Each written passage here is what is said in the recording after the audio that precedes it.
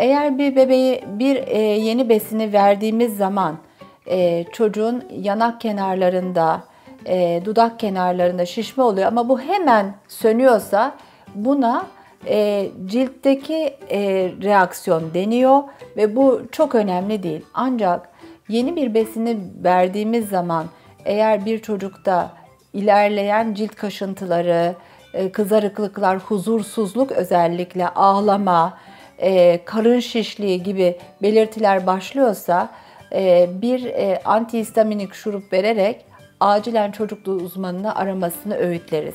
Zaten bu nedenle yani alerji hangi besinin ne alerji yapacağını bilmediğimiz için çocuklarımıza biz bu ek besinleri verirken hep çok dikkatli olalım diyoruz e, ve yavaş yavaş tanıtalım diyoruz.